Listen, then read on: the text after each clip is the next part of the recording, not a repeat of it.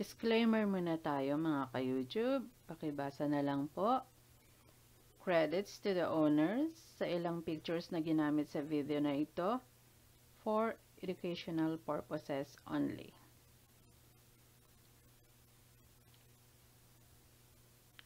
Chungaga, hack, crack, or scam?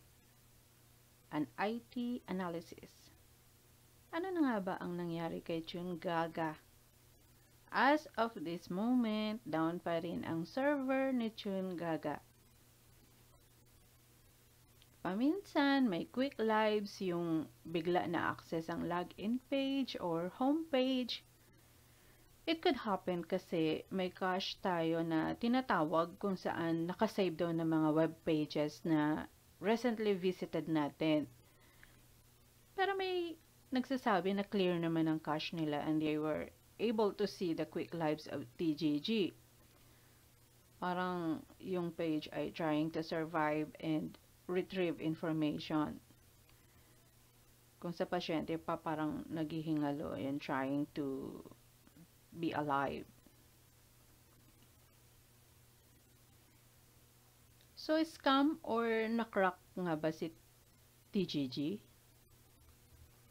Signs na na-scam ang isang platform So, makikita nyo naman sa screen. Actually, maraming signs na scam ang isang platform, no?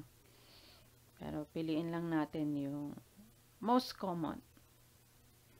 So, una na dyan, pretentious. Pretending to be a good company with good intentions and very kind to all users. Now, their sign, payment first before cash out. So, required kang maglabas ng pera bago ka makakuha ng pera.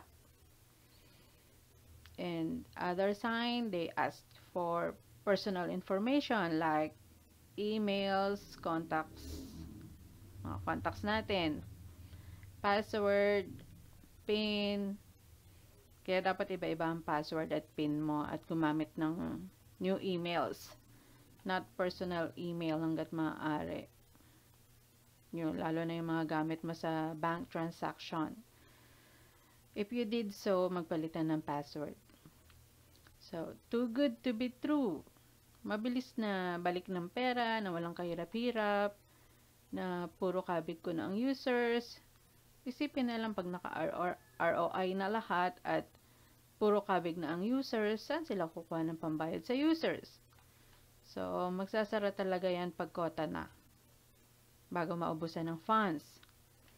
Yes, legit paying. May naka-cash out. Congrats sa mga nauna. ROI na. Patuloy pa rin ang kita. Sacrificial lang nga lang yung mga nahuli. Isipin na lang nakatulong ka sa mga nauna. Parang tumaya ng loto na maraming talunan tapos may isa o higit pang jackpot winners. Isipin na lang din na nakatulong ka sa mga nanalo. So, positive and good vibes palagi tayo. Tapos, tapos na, nangyari na, lessons learned, and be careful next time. Anyway, God is watching. Karma is digital. So, whatever you had lost, it will come back. Siksik, liklik, umaapaw. So, wala nang sisihan. Di makakatulong yan. No one to blame. Even yourself walang gusto sa nangyari. On the other hand, so benefits beyond the doubts, baka system cracked. So these are some signs, marami kasing signs then that the system is cracked. So crack is the term for bad hacking. And not all hacking is bad. We'll explain that on other videos. Ang mga signs yan, ito yung mga nakikita mo sa screen, yung mga signs na na-experience karamihan ng TGG users natin. So, strange traffic network. Like, dati okay naman yung deposit at cash out, bigla nagloko, pati earnings not updated, balances changes, yan. Mga sample. Another signs, slower speeds. Like, tagal mag-log in, laging nag-hang, pag-start earning or any options na i-access mabagal or na-stuck pa minsan, mga hindi maklik na button, something like that. Uh, frequent crashes. Nag-log out, bigla inaccessible, madalas pero nakaka-log in minsan, tapos log out ulit. Yan, mga sample niyan. So, some contacts receive fake emails. So, ito yung mga subscribers. So, they could receive fake emails or messages. So, maybe to divert attention of the users at wag mag-alala while destroying or corrupting the system. Kung illegally hacked or cracked, wag naman. TGG may be trying to recover their websites doing trial and errors and hopefully will work very soon. Pero mahirap kasi mag-recover ng damaged websites lalo na kung malaki ang damage. Complicated part is the restoration of users information lalo na yung earnings or balances status kung nabura yun. Wag naman. Imagine the reactions of TGG users pag open ng account, iba ang balances na andoon, mababa or zero balance na. Meron din magkakabol syempre sa mga nawalang araw nakita kasi nga daily earnings siya. Almost 6 days din yon.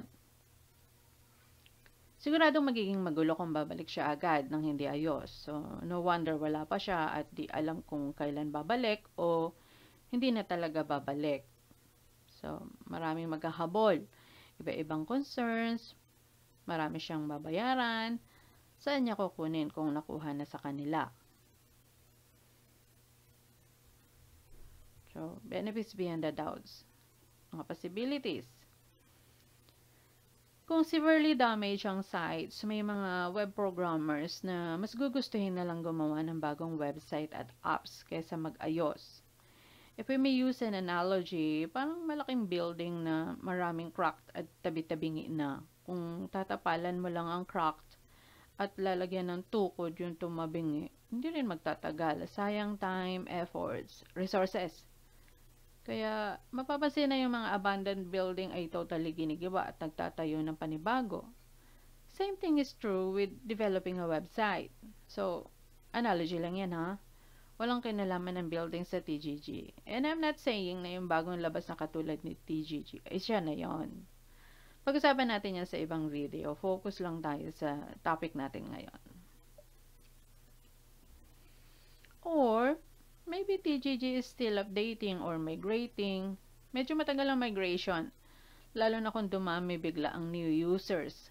Kailangan niya talaga mag-expand ng data warehouse. Kung gaano katagal ang pag-aayos, depende sa skills ng admin at resources available both hardware and software-wise. So, kung alin man dyan ng dahilan, um, nas, na hack or cracked, still ongoing maintenance, or scam nga ba si TGG, malalaman natin yan. Okay? At dahil mahaba na ang vids na ito, please watch part 2.